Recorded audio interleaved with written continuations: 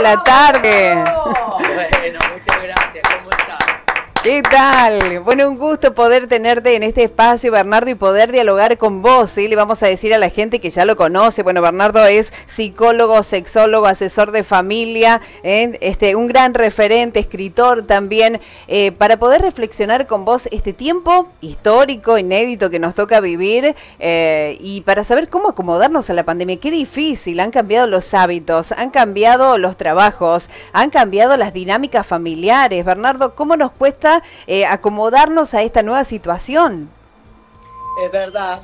Bueno, esta situación es una situación disruptiva que marca un antes y un después, pero no, eh, no olvidemos que los seres humanos tenemos una capacidad de adaptación muy grande. Nos podemos acomodar a cualquier circunstancia. Entonces, ser flexibles en este tiempo es muy importante porque efectivamente hemos recibido de un día para el otro o de, de una manera imprevista eh, una situación inédita que nunca antes la habíamos vivido contra un enemigo invisible. Entonces, ser flexibles y tolerantes hoy es fundamental. Tal cual. Eh, días atrás hablábamos con eh, la eh, secretaria de la ministra de la Mujer, nos decían que están trabajando arduamente porque las denuncias por violencia a partir de declarar la, la cuarentena aumentaron y mucho.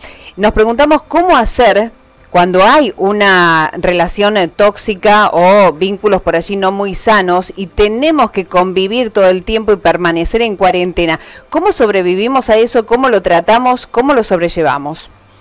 Bueno, lo primero que te diría es las parejas que tienen dificultades, conflictos, que hagan una tregua ahora. Hagan una pausa, guarden el conflicto, lo pongan en la biblioteca y digan, después que pase todo esto, resolvemos. Ahora no es momento para tratar de recomponer poner una relación que era difícil de recomponer cuando estábamos sin todo esto.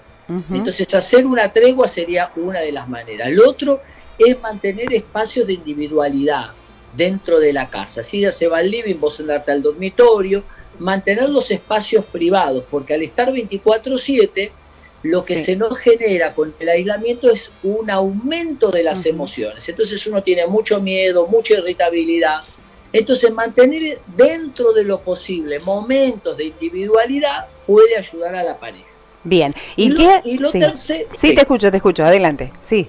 No, y lo tercero que te decía es siempre hacer un planteo, y nunca llevar la discusión a la agresión uno puede pensar distinto, verlo de otra manera. Bueno, escuchar, validar, entender que el otro ve lo que ve porque lo ve desde un lugar, nosotros lo vemos desde otro, y no transformar la discusión en una lucha de poder, una pulseada psicológica, a ver quién tiene más fuerza.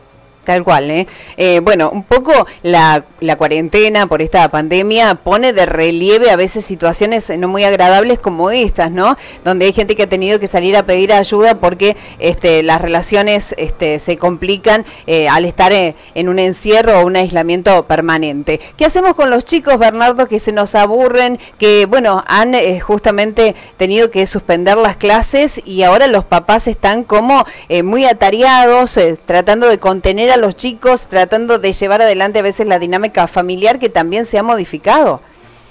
Claro, bueno, no es fácil, ¿no? Mm. Mantener eh, más o menos los horarios de comida fijos, mantener horarios de estudio fijos y mantener también espacios para reírse y divertirse. Los chicos tienen una gran capacidad de creatividad, entonces tenemos que confiar en la capacidad de creatividad. Cuando nosotros éramos chicos, recordás, que con unas piedras jugábamos, un palo era una nave espacial, la fantasía, el, jugar es el trabajo del chico, entonces confiemos en esa creatividad. Y obviamente también generar los espacios fijos de comida, te decía, de estudio y de juego, y dejarles un espacio que ellos puedan estar solos y desarrollar esa creatividad. Tal cual. Eh, ¿Vos cómo lo analizas? Eh, eh, nosotros aquí, bueno, todos los días estamos charlando con profesionales, con políticos, con este, personas que tienen algún tipo de trabajo en particular para que nos cuenten cómo están viviendo todos estos cambios, ¿no? y llegamos a la, a la conclusión que esta cuarentena por la pandemia nos interpela a cambios este, y que cuando volvamos me parece que hay cosas que ya no van a ser iguales ¿Vos lo, lo, ves así? ¿Lo podés analizar así? Digo, ¿nos va a provocar a cada uno un cambio interno? Sí, para alguna gente va a ser un antes y un después. Esa gente es la gente que hoy haga una introspección verdadera, ¿no? ¿Qué cosas son importantes en la vida? ¿Qué cosas valen la pena? Nos dimos cuenta que un virus mata a cualquier edad, de cualquier país, que la economía mundial es tan frágil que puede derrumbarse como se está, sucediendo. Entonces, hay gente que está haciendo procesos de introspección y de reflexión. Y otra gente que va a volver nuevamente a sus viejas costumbres. Es como cuando alguien tiene un infarto, ¿viste? Y va al cardiólogo y el médico le dice haga ejercicio, cuídese las comidas. Y hay gente que hace el cambio a rajatabla. Y otros que cuando ya están un poquito bien, vuelven nuevamente a los viejos hábitos. Entonces, Introspección va a marcar la diferencia de quienes usan la crisis para crecer y quienes volverán nuevamente a repetir conductas. Ese es el desafío, ¿no? Poder ver esta crisis como una posibilidad y no como un problema que nos detiene o que nos angustia. Eh, el tema es cómo manejamos las emociones también en, este, en esta situación.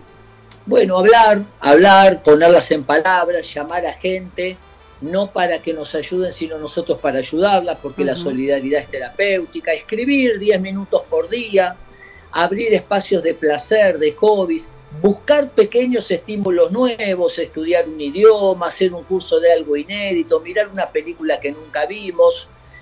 Eh, dentro de nosotros tenemos los recursos. Esta es una situación fea, de desgaste, de sentir miedo, ansiedad, bajón, todo eso es normal, pero apoyémonos también en los recursos internos que tenemos. Todos tuvimos, todos atravesamos crisis y lo hicimos de manera exitosa. Bueno, recuperar esos recursos para aplicarlos ahora. Bien, ¿nos contás un poquito sobre tu último libro, Bernardo?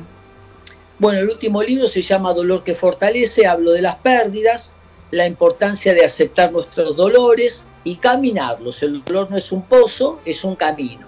Y ese camino es primero reconocer que tenemos dolor, reconocer este, las distintas emociones que pasamos y gastarlos hablando.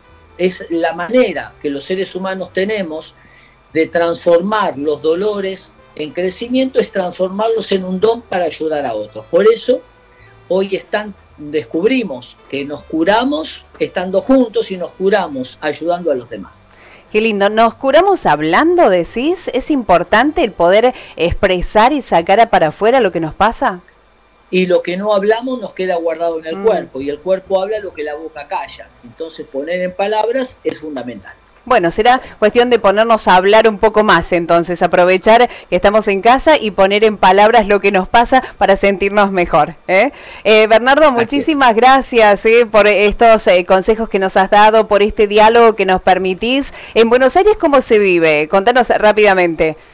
Bueno, estamos acá alguna gente respetando a rajatabla las indicaciones y alguna otra gente que se ha relajado. Mm y que hay que decirle que eh, acá no estamos cuidándonos para mejorar la calidad de vida, estamos cuidándonos para vivir o morir. Es un tema importante, no hay que relajarnos, eh, no hay que descuidarnos, no hay que dejarnos contagiar por lo que hacen todos. Así que bueno, la gran mayoría estamos cumpliendo a rajatabla. Bien, muchísimas gracias eh, por este contacto, muchísimas gracias por tus palabras, un placer para nosotros.